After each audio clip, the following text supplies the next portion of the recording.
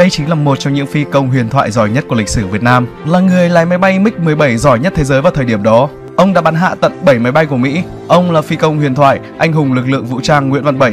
Anh hùng Nguyễn Văn Bảy sinh năm 1936 tại Đồng Tháp, tên là Bảy, con thứ bảy, đi bộ đội lúc 17 tuổi. Học văn hóa 7 ngày lên 7 lớp, 7 lần bắn rơi 7 máy bay Mỹ bằng máy bay MiG-17, được phong anh hùng năm 1967. Năm 1954, thanh niên Nguyễn Văn Bảy khi đó mới 17 tuổi, bị ép lấy vợ nên đã trốn gia đình đi bộ đội và tập kết ra Bắc.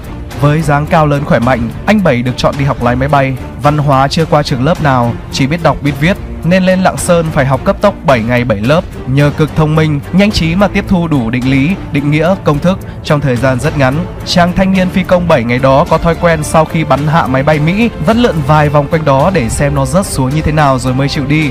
Tháng 10 năm 1965, máy bay của ông bị trúng đạn, buồng lái bị thủng. Ông đã dùng chính bàn tay của mình để bịt lỗ thủng. Các bạn không nghe nhầm đâu, dùng tay để bịt lỗ thủng máy bay để tự hạ cánh an toàn mà lẽ ra phải xin chỉ thị để nhảy dù.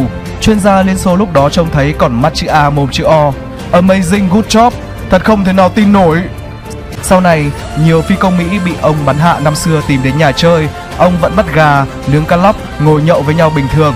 Ông mất năm 2019, thọ 83 tuổi, để lại cho thế hệ sau lòng cảm phục và biết ơn sâu sắc.